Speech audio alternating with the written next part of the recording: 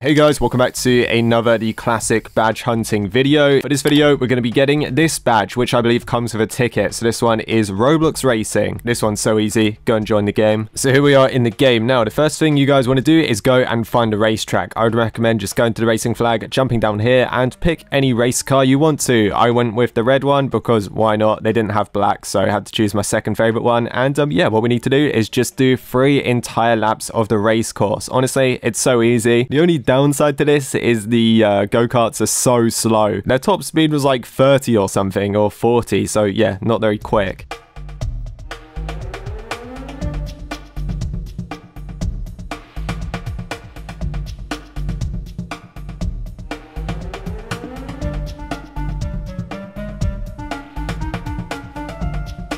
There we go. So after doing three entire laps, it doesn't matter what time you get, but you will get the badge and you also get a bonus ticket as well, which you can spend on something. So there you go. Simple.